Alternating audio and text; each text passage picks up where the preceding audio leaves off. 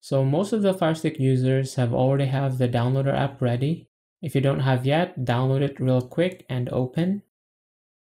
Choose allow if this pops up, then hit OK. And in the URL, type this in. It's 133924.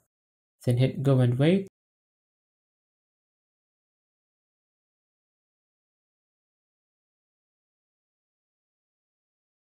Choose your file version. You may choose the new one and at the bottom of it is the old version or the old UI.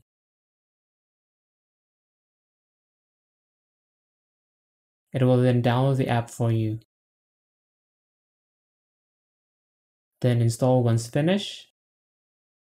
Now if you're using an Android device, a Mac or Windows computer, simply open your browser and in the URL type this in. It's bit.ly forward slash so player. It will open the same page. This time, choose the file type for your machine. If you're using an Android, you can still choose between these two. For Mac, choose So Player for Mac. And since we're using Windows, we will choose this one instead. It should download the app right away, but if this will show up, just click on download, no big deal. It will download the app automatically or it will give you an option on where you want to save the file.